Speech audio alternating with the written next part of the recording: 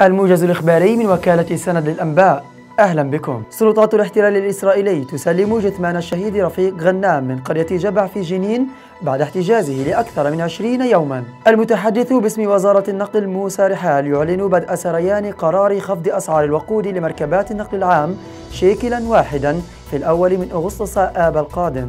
عائلة الصحفية الفلسطينية الشهيدة شيرين أبو عاقلة تكشف عن امتناع وزير الخارجية الأمريكي أنتوني بلينكين التعهد بإجراء تحقيق أمريكي مستقل في جريمة اغتيال ابنتهم.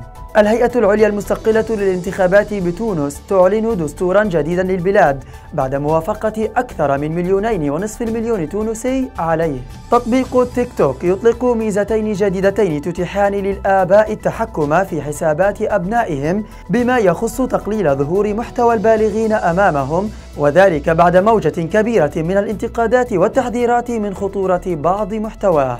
نهاية الموجز. في أمان الله.